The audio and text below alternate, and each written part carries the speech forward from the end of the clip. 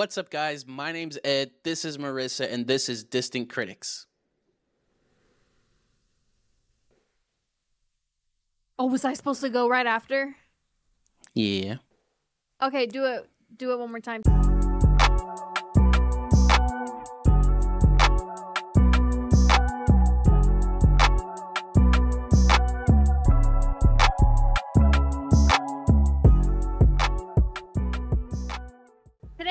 Talking about Transformers 1. Marissa, can you go ahead and read the plot? Sure, I can. the untold origin story of Optimus Prime and Megatron, better known as sworn enemies, but who once were friends bonded like brothers who changed the fate of Cybertron forever. Uh, so Marissa, um, I'm just gonna get straight into it. I was not looking forward to this movie when it first came out. I saw the trailer. I saw certain people like hyping it up, and I was like, "Nah, this looks silly." Saw the movie, loved it. All right, wonderful, wonderful movie. But you know, before I get too far into it, I want to know your initial thoughts about this film. You know, you were like that because when I brought up the movie for us watching this movie, you were not excited. And I was the one that was like, no, we're going to watch Transformers 1. We're going to do it. Yeah. Um, oh, sorry. Go ahead. No, no, no, no, no, no, no. Go ahead. Go, go, go, go, go. Oh, okay, okay, okay. Good movie. You know, I was actually really shocked. I was excited going into this movie. My husband and I both were, and it did not disappoint me at all. Um, I like how they didn't try to change the original look too much. I think that it's what we grew up with, and they kind of stuck with that as an animation film.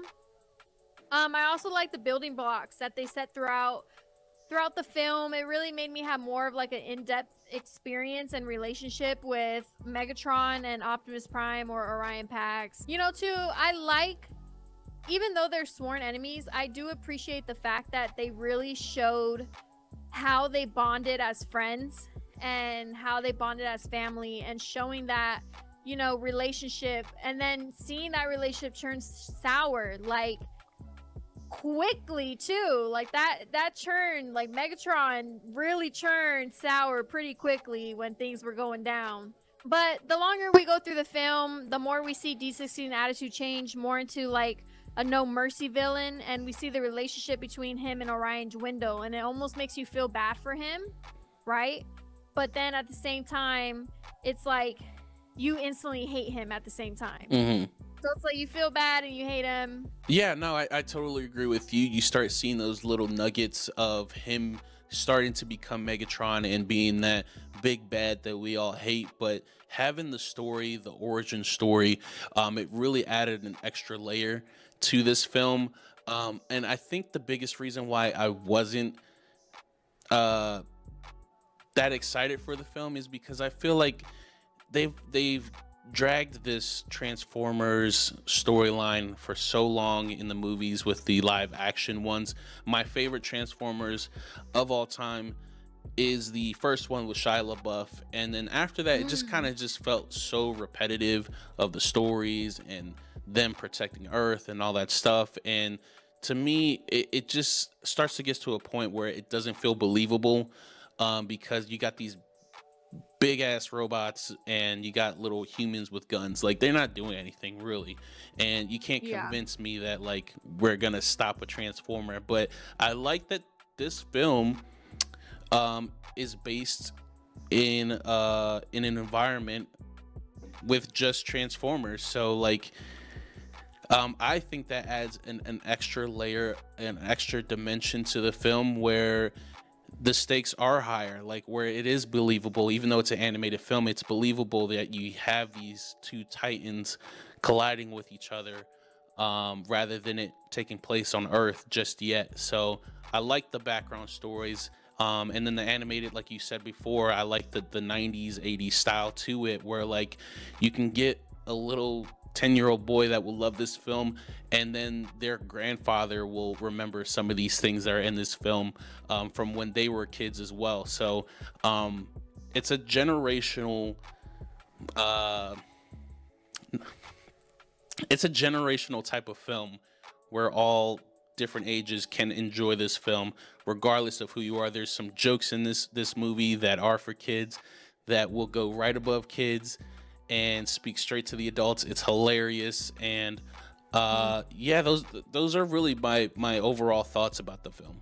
Yeah great input ed. Um another thing too the cat the cast was a solid cast. You have scarlett johansson chris hemsworth you know um who else? Who else is in it um, I, I, always forget his name, but he's the father from uh, Spider Verse, the Spider Man movie. Yeah, um, yeah, yeah. But he was Megatron. Oh, and uh, Keen Keen Peele, I think his name is Bumblebee. Oh yes, yes, for Bumblebee. For yes. Bumblebee. Mm-hmm. Yeah. So just a a nice, well built, well rounded cast that went into Transformers, and you know, I have to talk about like I know you have a pet peeve when it comes to characters and matching and not matching and do you how was it for Bumblebee specifically or even like Chris yeah. Hemsworth's character? Like how was it? No, I'm glad you brought that up because I was that's another reason why I wasn't really um hyped for this film because I feel like I just know Chris Hemsworth's voice. I feel like I know uh Keen Peele's voice like and I don't I didn't know if I could connect with the character because he has uh, Chris Hemsworth has this British I don't know if he's British or Australian one of those two but he has an accent. Um, but again you don't feel that in this film. He has that transformation to his voice. You see what I did there? Um yes.